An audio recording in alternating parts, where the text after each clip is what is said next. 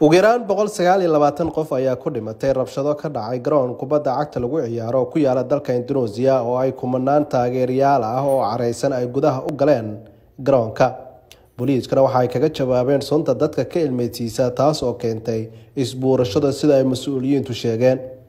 Musiibadan oo habeennimadii sabtida ka dhacday bariga magaalada malanga ayaa waxaa dhaawacmay ku dhowaad boqol iyo siddeetan qof waxayna noqotay mid ka mid ah musiibooyinkii ugu dhimashada badnaa ee ka dhaca garoon kubadda cagta lagu ciyaaro ee adduunka.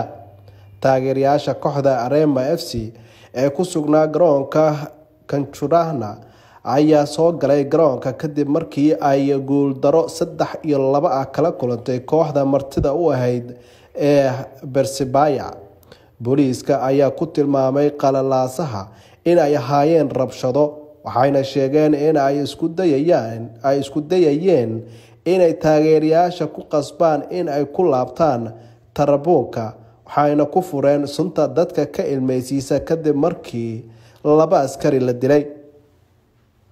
Qaar badan oo ka mid ah dhibanayaasha ayaa muuqaalo laga soo duubay iyo sawiro laga soo qaaday lagu arkayay iyadoo lagu tumanaya ama la dilaya sida ay booliisku sheegeen.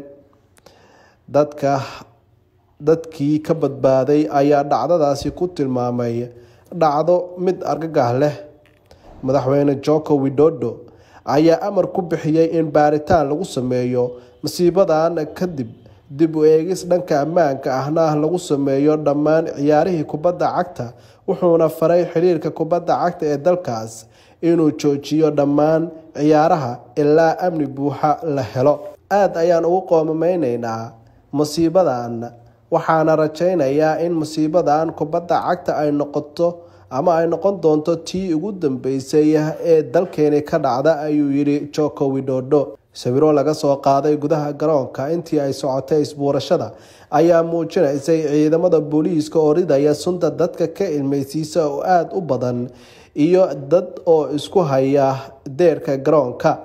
Sidoo kale muuqaalo la soo duubay oo ku wareegayay baraha bulshada ayaa muujinayay dad oo si xun uga qaylinaya booliiska kuwaas oo sitay gaashaanka rabshadaha iyo budadka.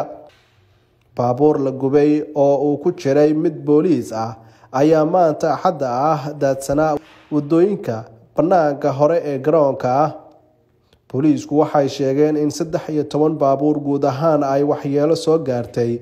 Garoonka oo ah garoon qaada laba iyo afartan kun oo qof waxaana maamulku uu sheegay in uu ahaa mid iib ah. Booliiska ayaa sheegay in saddex kun oo qof ay gudaha u galeen garoonka kubadda cagta.